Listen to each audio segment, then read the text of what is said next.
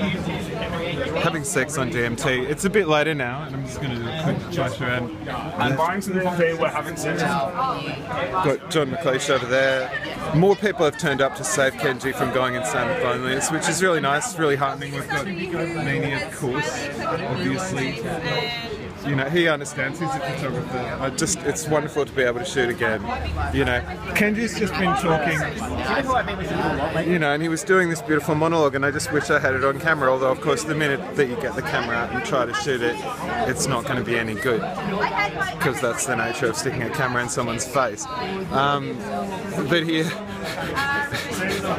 but he has this total unconscious synchrony, you know, stylistic synchronization with Sean Lennon. Um, you know, it's only retrospectively that he's realised that not only does he look exactly like Sean Lennon, he also dresses exactly like Sean Lennon. But it wasn't deliberate; it just kind of happened. Um, Has anyone ever told you Charlotte looks like Lana Del Rey? Lana Del Rey, that's who Charlotte looks. She doesn't. That's not who. We were like, who does Charlotte look like? She doesn't look like Lana Del Rey. Not really. Not really.